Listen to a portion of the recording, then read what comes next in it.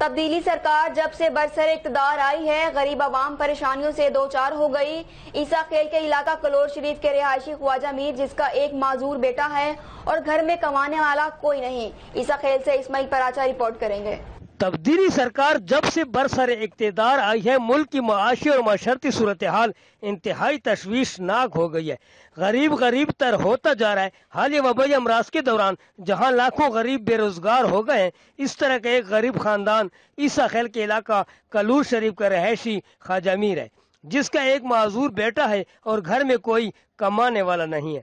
खुद ख्वाजा मीर अपने ज़यीफ और नतवा जिसम से मेहनत, मुशक्क़त तो करता है, मगर बाज़ अवकात इसे ये भी मैसर नहीं आती। गुर्बत और कम तंग दस्ती की वजह से ये ख़ानदान फाकों से दो चार है। इस गरीब खानदान ने अला हुकाम से इमदाद की अपील की है। Ismail Paracha, city news, Isa Khel, Mianwali.